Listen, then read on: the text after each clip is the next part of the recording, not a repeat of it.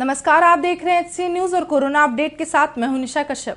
केंद्रीय स्वास्थ्य एवं परिवार कल्याण मंत्रालय द्वारा जारी आंकड़ों के मुताबिक पिछले 24 घंटे के दौरान देश में 6,531 नए मामले सामने आए।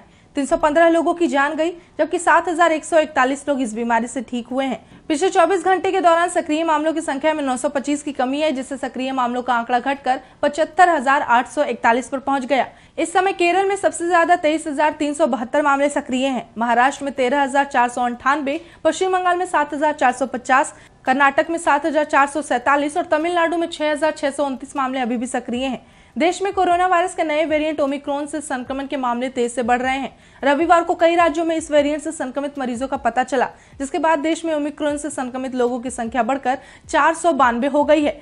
केरल में आज ओमिक्रॉन के 19 नए मामले सामने आए। वहीं महाराष्ट्र में रविवार को ओमिक्रॉन के 31 नए केस सामने आए हैं। आंध्र प्रदेश में रविवार को ओमिक्रॉन के दो और मामले सामने आने के बाद राज्य में वायरस के इस स्वरूप से संक्रमित लोगों की संख्या छह हो गई।